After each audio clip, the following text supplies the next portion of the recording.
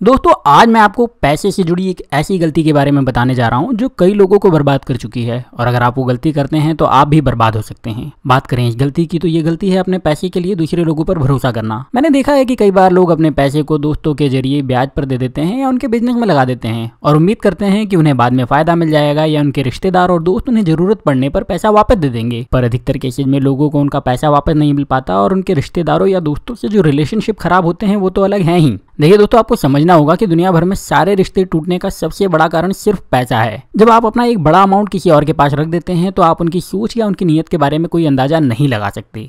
अगर सामने वाले ने पैसे देने से मना कर दिया तो आप आसानी से उससे पैसे नहीं निकलवा सकते और अगर आपने लिखा पढ़ी के साथ पैसे दिए थे, तब भी कानूनी प्रक्रिया बहुत लंबा वक्त ले लेती है और आपको मानसिक और आर्थिक नुकसान तो झेलना ही होता है। इस समस्या से बचने का सबसे अच्छा तरीका यह है कि जब आपके पास कोई बड़ा अमाउंट आए तो किसी रिश्तेदार या दोस्त पर भरोसा करने के बजाय उस पैसे को खुद सही जगह पर इन्वेस्ट करिए। अगर आपको समझ नहीं आ रहा कि क्या करें तो किसी इन्वेस्टमेंट एक्सपर्ट की मदद लेकर पैसा इन्वेस्ट करिए। और अगर आप वो भी नहीं कर पा रहे हैं तो पैसे को बैंक में रख दीजिए, लेकिन किसी भी हालत में किसी भी दोस्त, रिश्तेदार या नातेदार पर भरोसा मत करिए। देखिए दोस्तों, अगर आप अपने रिश्तेदारों, दोस्तों या लोगों पर भरोसा करके अपने पैसे उनको देंगे तो आपको फ़ायदा कम और नुकसान होने के चांसेस बहुत ज़्यादा होंगे। लेकिन अगर आप अपने पैसे खुद अपनी समझदारी से इन्वेस्ट करेंगे तो आपके नुकसान के चांसेस बहुत कम हो जाएँगे, लेकिन फ़ायदे के चांसेस बहुत ज़्यादा रहेंगे और यही आज का विजडम है। मैं जानता हूँ ये विजडम ऐसा है जो शायद आप अपने दोस्तों के साथ शेयर नहीं करना चाहेंगे, पर फिर भी आप इस वीडियो को लाइक तो कर ही सकते हैं तो लाइक कर दीजिए शेयर करने का मन हो तो शेयर कर दीजिए। और चैनल को सब्सक्राइब नहीं किया है तो सब्सक्राइब करके घंटी का बटन ज़रूर दबा दीजिए, ताकि आपको रोज काम के वीडियो देखने को मिलते रहें। Thank you very much